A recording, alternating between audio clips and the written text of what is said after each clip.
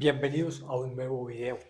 Demostrar las bisectrices de los ángulos de un par lineal son perpendiculares. Observemos esta imagen. Par lineal. Tenemos tres rayos OA y OC. Estos dos rayos son opuestos, es decir, hay 180 grados acá. Definición de la recta AC. Y tengo el rayo OP que cae sobre esa recta. ¿Sí? Entonces, este ángulo y la suma de este ángulo forman un par lineal. La hipótesis, ¿qué nos dicen? Las bisectrices. Entonces trazamos OX es bisectriz de quién? Del ángulo BOC. Es decir, divide el ángulo en dos partes iguales. Este ángulo va a ser igual a este. Digamos que ese ángulo es alfa. Este va a ser alfa, porque es bisectriz. Y si decimos de que oye es bisectriz de B o A, es porque este ángulo va a ser igual a este. Digamos que este va a ser beta. Tesis, lo que vamos a demostrar, que OX, que es bisectriz, y OY, que es bisectriz, son perpendiculares. ¿Qué perpendicular? Que la medida de X o Y es 90 grados. Entonces vamos a decir lo siguiente.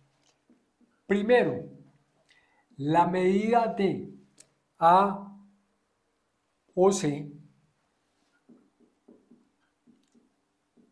el ángulo que se forma en O, todo este ángulo que es 180 grados por definición de recta. ¿Sí? Segundo, la medida de y o B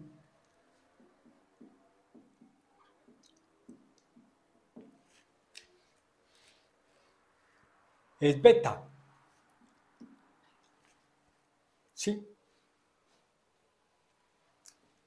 Tercero, la medida de X o C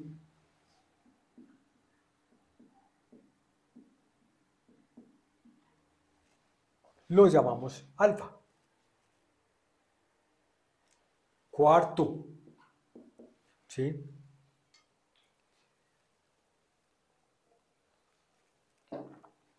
Dos veces la medida de Y B va a ser igual a qué? 2 beta. ¿Sí? Y o B dos veces, una y dos va a ser 2 beta. Quinto, dos veces la medida de X o C, X o C va a ser igual a 2 alfa. ¿sí? Sexto, pero como sabemos de que la medida es dos veces la medida de Y o B, que es esta expresión, más dos veces esta, ¿esto qué es?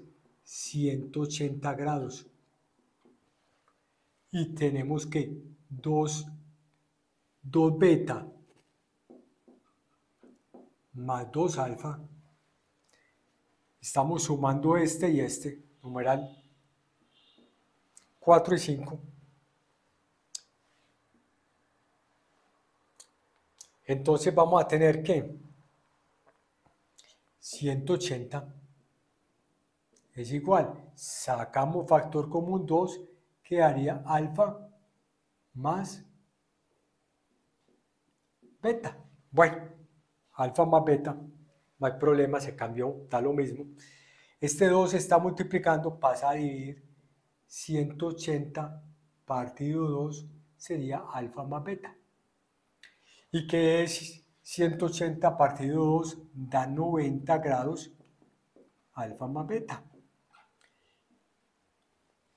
90 grados, ¿qué es? Perpendicular. Entonces, alfa más beta se verifica que están los 90 grados. Espero que te haya quedado claro. Suscríbete, comparte la información. Hasta la próxima.